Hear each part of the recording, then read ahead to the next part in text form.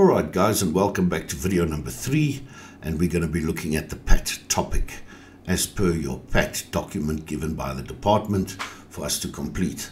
Alright, let's see what this topic is about. Let's get excited. Okay, what are they talking about? Okay, the topic. Alright, we're looking at green computing.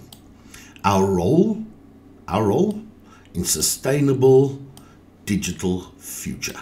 Our role in a sustainable digital future. Okay, that's pretty cool. I think it's important that we understand what green computing is and we're looking at our role. That means mine, yours, people's role um, in sustainable, which means long lasting uh, digital future. Okay, so let's read a little bit more about this. Okay, introduction. Technology, so they're focusing on technology, is an important part of our daily lives. And I'd agree there, guys. Come on, we all pick up our phone, we're using computers and laptops, and we're doing research and all this kind of funny stuff. Okay.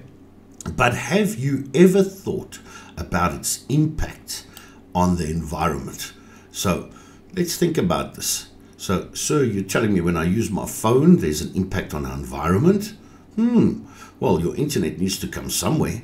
They have to put up poles. They have to have a server running. They have to have uh, dial up. They have to have fiber connections, all this kind of stuff, satellites. All right, so yes, maybe there is an environment. But what about if we look at technology alone and we consider like printing? Um, that is technology that we use and we're using cartridges and we're using all kinds of things. And then obviously when they deplete it, when they finish those printer cartridges, we throw them away. And we don't always realize what um, that impact is, even if we're upgrading. What happens to your old cell phone? What happens to your old tower case or computer case or screen um, or old TV for that matter? All right, so let's read on a little bit more. The devices we use, the electricity they consume, and the way we dispose of old electronics all contribute to pollution and climate change. Hey, wasn't I knocking that right on the nail? I didn't even have to read further. But um, yes, it, it, co it, contributes to pollution.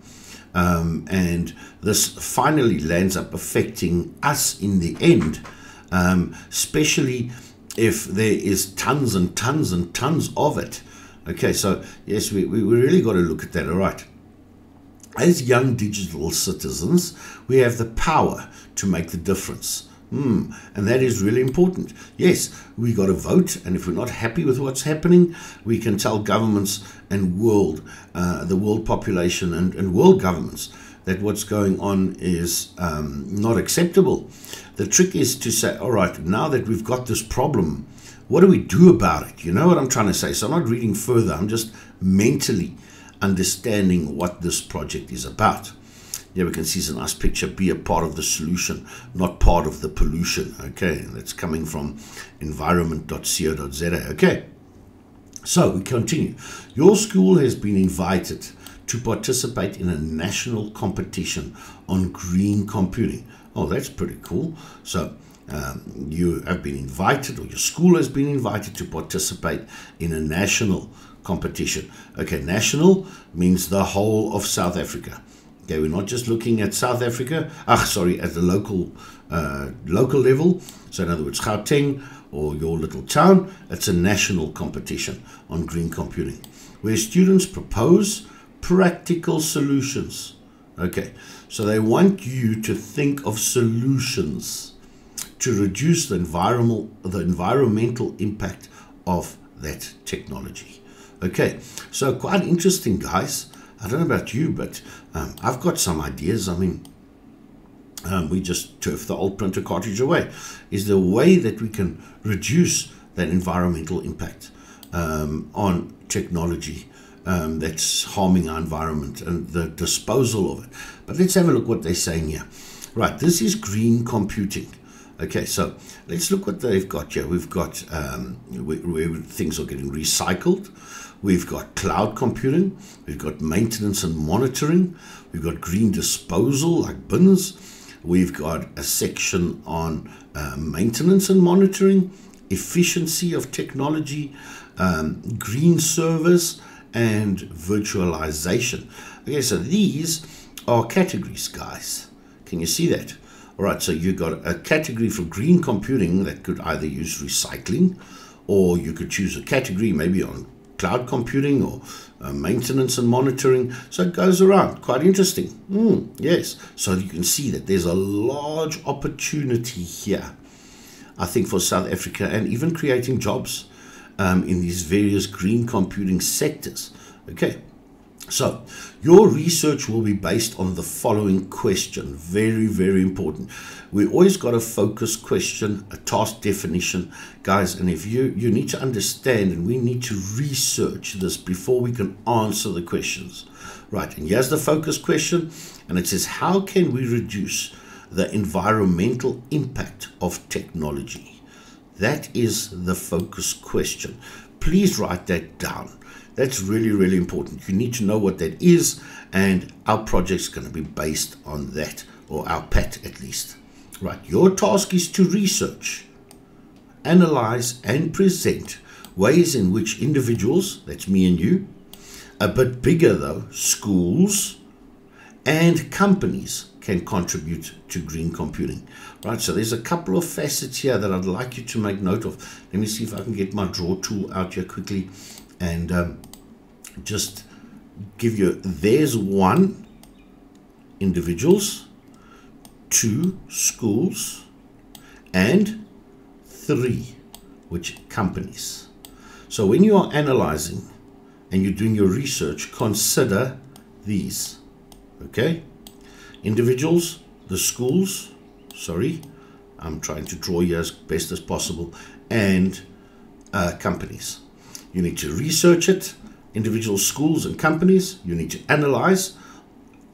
Have people already done this? Analyze it, analyze it, and see um, what they are doing, and then take the best of this and present it. Okay. And again, the importance is that it is contributing to green computing. It must contribute. Okay. So I would say, guys, you've got positive and you've got negative we need to understand the negative part of the pollution, okay, of this technological pollution that we're putting into the environment, but then also come up with solutions. Okay, so it's important to plan this very, very carefully. Okay, let's carry on reading. Investigate practical solutions. So you need to investigate, guys. So this is research. So you've got the internet, you've got books, you can speak to people. Maybe you've got an uncle or auntie who's in yeah, green compu- green technologies, or you've heard of companies that adapted to green technologies, that would be quite nice. So, for example, solar, guys, is that a way of reducing um, our need for electricity? Am I right? If we go solar, so is there someone who's done something in the same lines? And even solar, that could work. It's still um, uh, um, um contributing to a greener environment. But you need to remember that when the batteries on the solar panel go down, we're throwing that technology away, it lands up on our landfill, and it affects another part um, of our environment. So, quite important to have a look at. Okay, right. Um, investigate practical solutions to reduce the environmental impact of computing. Okay, so that is what you need to research there investigate real world examples. So you need to find some real world examples of the impact, the benefits, and the challenges of green computing. Okay. Um, in one of the following focus areas. This is now important. Now, guys, I'm going to change my color of my pen here because these are the areas that you need to pick. Right, so you can either look at one, it's saying one of the following areas. So you need to pick one here only one. Okay, not 10, not all of them, not half one. The, you need to pick one area. So, what are the areas? You've got efficient, uh, energy efficient computing. You've got e waste management of electronical waste disposal. We've got eco friendly design and hardware, green software development, or green computing in schools. Okay, so you need to pick one of those. Okay, you're happy with that. So I'm going to leave it up there and you can just decide. So um, efficient, uh, energy efficient computing, could that be looking at power usage? That could be looking at um, the amount of energy that a computer uses um, when we work it. What about power saving modes? That could all be in this energy efficient computing. Okay. Then e-waste management, that looks more at what happens now, like I said earlier on, when we throw things away, um, when we're disposing of them. So it could be your old cell phone, it could be an old router, it could be the computer screen you've upgraded. What do we do with it usually, and where does it land up, and how do we, um, you know, solve this issue? Eco-friendly design and hardware, I think, would focus on um, when they're designing new products. Are they considering eco-friendly, you know, um, components, eco-friendly uh, parts that go inside these computers and the design of that. And it doesn't just start with a computer. I don't just want you to think about computing now in this case. You know what? Um, um, it is on the impact of computing. Yes, I know it is that, but think about servers, think about uh, server farms, uh, big data, um, and the storage of big data. That could all be part of that design and hardware. Right, and there again, yeah, I've just touched a little bit on that green software development. Yeah, your big data comes in. Um, for example, Google, um, Instagram, Twitter, um, all these kind of things. You know, when you start looking at that software that is being developed, and now the big one is AI. Please don't forget about AI. You can even bring that in there because I'm hearing from everybody that the requirements to run AI means that we need to use a lot more electricity for these computers to work, which at the end has got a detriment to green computing. Let me draw a little line here for you guys.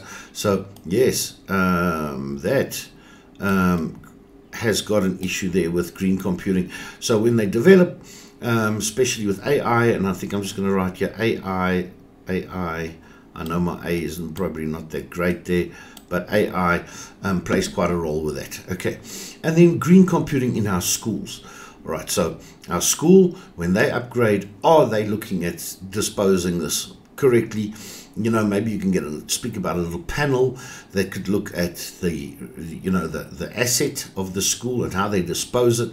Um, are the computers turning off at night, or do they just motor the whole way through? Um, are they turned off? Do they go to sleep? So all of that contributes to the green um, or a better planet. Okay. Use the focus area above to complete the following focus question. This question must be typed out in the space provided in your research planning document. Now in the next video, I'm going to go through that document that the department has given us and how to formulate and lay out your PAT document um, that is provided in the resource pack. So that's important, guys, that your teachers give you that resource pack that you know where you're working in. Remember to indicate the specific focus area when you that you have selected from the list above and edit the sentence so that it makes sense when you read it. So here is the um, focus question um, oh, sorry, the focus area. I do apologize. So, what is the focus area? I could say, for example, what are the practical solutions in, and then I can look at here. Uh, let me pick one here quickly. Eco-friendly design of hardware to reduce the environmental the environmental impact of technology. So, can you see? I'm bringing this. Let me just get a thinner pen out here, guys. Um, sorry, it's technological challenges don't we have? Okay, so I can bring, if that's the one that I wanted to do, I'm going to fill that in here. Right. And that then completes off that statement that you are seeing there. So, um, very important. But that's if I pick this one. Okay.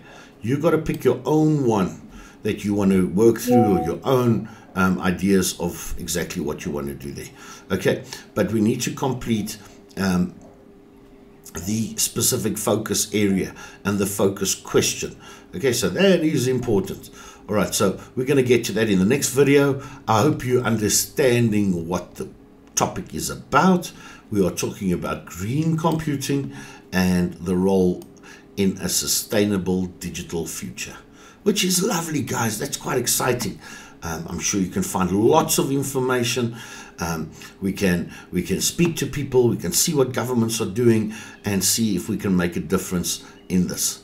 That is video three, guys. See you back next time for the actual layout. And specifically, we're going to be looking at um, the resource pack um, that the department has given us and then the document where we will fill in um, our focus area and the focus question and whatever the case may be. I hope you're happy, guys.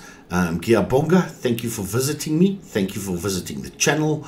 It's lovely having you here. Please give us a thumbs up or a, a like. It does help. Uh, it takes time building these, and I'm trying to help you all out, so I'd appreciate a like or two. Thanks, guys.